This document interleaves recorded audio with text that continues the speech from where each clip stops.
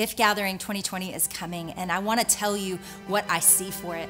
I see across the earth, across every different country, from all different backgrounds, all different ages, that we would, for two days, come together and ignore our feeds, ignore all the noise, ignore the chaos inside of us, and listen to the Word of God taught.